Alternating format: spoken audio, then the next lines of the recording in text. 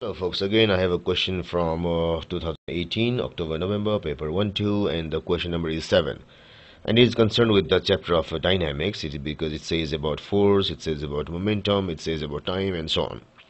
It says that a resultant force of 10 Newton 10 Newton uh, acts on a body for a time of uh, it is 2.0 seconds.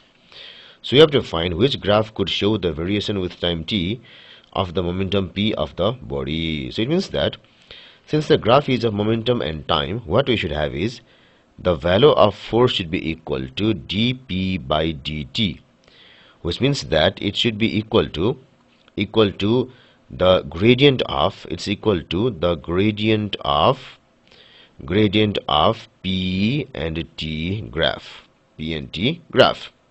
So let's go for the choices. So in choice number a what we have is the gradient shall be shall be uh, it varies from 20 to about it is about over 10 so it's almost almost about equal to 10 so it is uh, the gradient is equal to uh, the gradient is equal to equal to 20 minus 10 it's actually we are talking of the magnitude minus 10 and the time is 2 seconds so it's equal to uh, 10 by 2 equal to 5 newton. So not correct. According to this in choice number b we have gradient is equal to equal to so it goes from 20 to 0 so it is a 20 minus 0 and the time is 2 seconds. So so 2 minus 0 actually i should do, do it as because it's the gradient.